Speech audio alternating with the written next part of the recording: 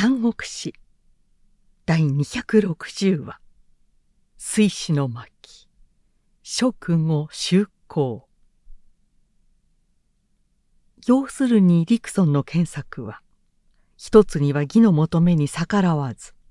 二つには職との祝宴を結ばず三つにはいよいよ自軍の内容を充実して形成の良きに従う。ということであった。呉の方針はそれを旨として以後軍は進めてあえて戦わずただ諸方へ催策を放ってひたすら情報を集め職義両軍の戦況を伺っていった。と果たせるかな四度の義軍は総妃の目算通り有利には進展していない。まず両党勢は政兵官を境として職の馬長に撃退されている模様だし南蛮勢は駅州南方で職軍の義兵の刑にあって回覧し常陽の毛達は嘘か本当か病と称して動かず中軍宗信もまた敵の長雲に要害を占められて傭兵官も退き野国からも退き全く総敗軍の実情であると伝えられた。ああ実によかった。もしリクソンの言葉を入れずに語が進んでいたら我が語の苦境に至ったことは想像にもあまりあるものだった。まさにリクソンの先見は新参というものであった。孫権も今となっては心から行幸を祝してその前言を献じたリクソンに対していよいよ信頼を加えた。ところへ蜀の国から当主というものが使者として来たことが披露された。長将は孫権に言った。これは必ず孔明の意中を含んできたものに違いありません。どう待遇するか。まずその使者を試みてごらんなさい。どんな人物か。彼の申し出にどう答えるかはその上でよいでしょう。孫権は武士に命じて殿前の庭に大きなかなえを据えさせた。それへ数百斤の油をたたえ薪を積んでふつふつとたぎらせた。食死を通せ。孫権は軍神と共に会を隔てて呆然と待ち構える。千四人の武士は開花から旧門に至るまで劇矛槍斧などを高校と連ねて並列していた。この日客観を出て初めて旧門へ導かれた当主は至極粗末な遺憾をつけ元来風采も上がらない男なので友のものかと間違われるほど意義も作らず簡単に案内の後からついてきた。がこの男極級城内に満つる喧騒にも少しも恐れる色がないし大釜に煮え立っている油の炎を見てもほとんど何らの感情も表さない。ただ開花へ来ると二個として孫権の座談を振り仰いでいた。孫権は蓮を任せて見下ろすや否大喝して「間が前に来て灰を取らないやつはどこの何者だ!」と叱った。当主は公然と名を突っ立ったままで上国の直使は商法の国主に配をしないのが習いである。孫権はその顔を油のかなえのようにして「こしゃくなやつ汝三寸の下を持って歴域が西欧を説いた例にでも習おうとするのか。憐れむべきやつたとえ汝に古の随家や陸家のごとき弁ありともやわかこの孫権の心を動かしうべきか。帰れ帰れ。ははははヒップ何を笑う語には豪傑も多く賢人も星のごとしと聞いていたがなんぞ知らん一人の儒者をこれほど恐れようとは。黙れ誰が汝ごときを恐るるか。ではなぜそれがしの舌を憂いたもうか。汝を用いるは孔明である。計るに孔明は使いをもって我が呉と義の間を裂き、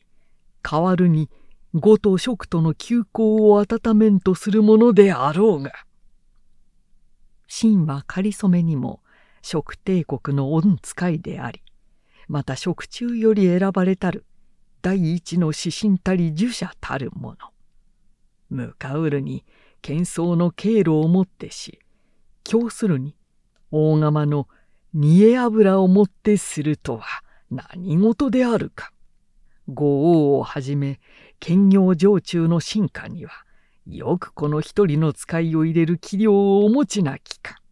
まことに案外なことであった。無然として言うとさすがに終身も恥孫権もやや自分の少量を顧みたものかにわかにいかめしい武士は皆退けて初めて彼を天井の座に迎え上げた。改めて問うが即下は職の税格としてこの尊権に何を説こうとしてきたか。最前大王がおっしゃった通り職後両国の修行を求めに来ました。それならば世は大いに危ぶむ。すでに職種玄徳なく公主は幼少であるからよく今後も国家の対面を保ち得るかどうか。ここまで孫権が切り出してくると当主は我がものだと胸の内で確信を持った。大王も一世の英権孔明も一代の大器。職には三戦の剣あり後には三公の固めありです。これをもって紳士の提携をなすのに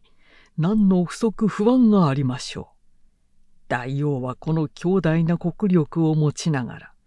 義に対して真と称しておられますが今に見ていてごらんなさい。義は口実を見つけて必ず王子を人質に求めてきましょうその時もし義の命に従わなければ義は万古して呉を攻め合わせて我が職には好条件を掲げて軍事同盟を促してくるに決まっている。長江の水は下るに早し仮に蜀軍の水陸軍が義の恋を入れるとした時は呉は絶対に安全でありえましょうか。大王にはいかが思われますか？ああやんぬるかな。大王には初めからそれがしを贅沢と見ておられる。そして詭弁に欺かれまいというお気持ちが先になっている。それがしは決して私一個の功のためにこの弦を吐くものではありません。一に両国の平和を願い職のため語のために必死となって申し上げたのです。ご返事はお使いをもって職へお達しください。もう申し上げるべき死者の言は終わりましたからこの身は自ら命を絶ってその偽りでないことを証明してお目にかけます。当主はこう言い切るや否矢庭に座から走り出して階段の上から油の煮え立っている大家内の中へ踊り込もうとした。ああ、待ちたまえ、先生孫権がこう太鼓したので、道場のシーンは駆け寄って、あわやと見えた闘志を後ろから抱き留めた。先生の誠意はよくわかった。他国に死して、訓命を恥ずかしめぬ真あり。またその人を見てよく用いる最小のあるあり。職の前途はこの一時を見ても牧するに足る。先生まず上品の席に疲れい帰国のご希望は十分考慮するであろうから河川孫権は態度を変えた。たちまち自身に命じて行動に大宴を設け上品の礼をとって当主を迎え改めた。当主の使命は大成功を収めた。彼の熱意が孫権をして本然と心機一転させたものかあるいはすでに孫権の腹中に義を見捨てる下地ができていたによるものであろうか。いずれにせよ豪職の国交回復はここにその可能性が訳されて当主は熱くもてなされて10日も兼業に投留していた。その帰るにあたっては御神長雲が改めて東霊市に任ぜられ当主と共に職へ行くことになった。だがこの長雲は当主に比べると大分人物がしたらしくまだまだやすやすと調印は許さぬこの目で職の実情を見た上のことだ条約のなるかならぬかは俺の覆命一つにある。と言わぬばかりな態度で職へ臨んだ。職では逮捕政策の一歩にまず成功を認めたので公主龍禅以下国を挙げて喜びの意を表し長雲が都門に入る日などは大変な歓迎ぶりであった。ために長雲は余計に思い上がっ蜀の百貫を尻目に見下し殿に上がっては龍禅皇帝の左に座してがぜん虎のような格好をしていた3日目には彼のための歓迎宴が生徒宮の清雲殿に開かれた。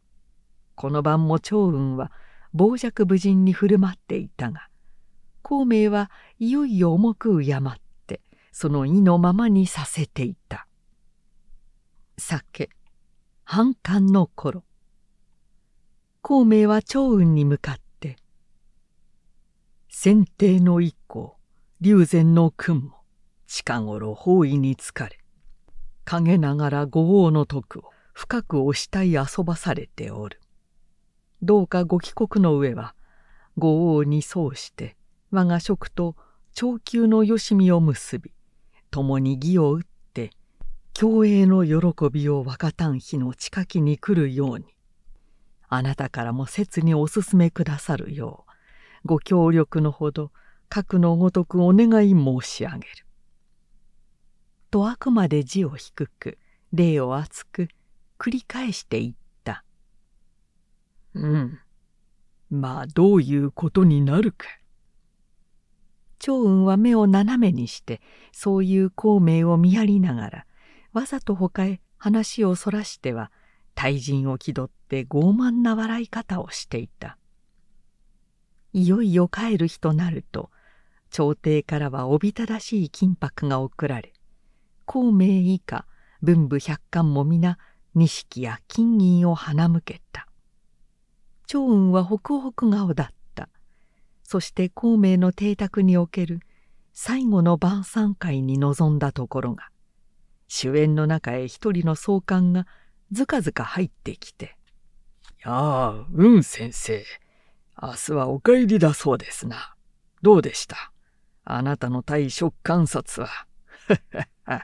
まあ一杯いただきましょうか」と主賓の近くに座していきなり手を出した。長雲は自分の尊厳を傷つけられたように不快な顔をして「亭主の孔明に向かい「何者です彼は」と尋ねた。孔明が答えて「駅州の学士で新福あざ名は市直です」と紹介すると長雲は嘲笑って「学士かいやどうも近頃の若い学士では」すると新福は色を正してきっと彼に瞳を向けた。若いと仰せられたが、我が職の国では、三歳の童子も皆学ぶの風があります。故に、年二十歳を超えれば、学問にかけてはもう立派な一人前のものを誰も備えておる。では、汝は何を学んだ？神は天文から下は地理に至るまで、三教九流諸子百科古今の後輩政権のしおよそ目をさらさないものはない。と神福はあえて体言を放った後で「五の国では一体何歳になったら学士として世間に通るのですか？六十七十になってからやっと学問らしいものを身に持ってもそれでは世に貢献する年月はいくらもないではありませんか？と反問した。せっかくご機嫌のよかった長雲は表を逆さになでられたような顔をした。そして「小憎い青二歳」と思ったかあるいは自己の学問を誇ろうとしたのか。しからば試みに問うが。と天文地理慶書司書兵法などにわたって次から次へと難問を発した。ところが学士神福は古今の例を引き書中の軸文章を空読みしていちいちそれに答えること。とうとうとしていささかのよどみもなく聞くものをして惚れ惚れさせるばかりだった。長雲は全く酒も冷め果てた顔をして「職にはこんな春菜が何人もおるのかしら」とついに口をつぐみまた自ら恥じたもののようにいつの間にか退席してしまった。孔明は彼に恥を負わせて職を晒してはと大いに心配して別室にいざない。即下はすでに天下を休んじ国家を経営する実際の学識に達しておられるが神福のごときはまだ学問を学問としか振り回せない若輩でいわば大人と子供の違いですからまあ。お許しください。主観の冗談は誰も一時の冗談としか聞いておりませんから。と深く謝して慰めた。で長雲も「いや若い者のこと私も何とも思ってはおりませんよ。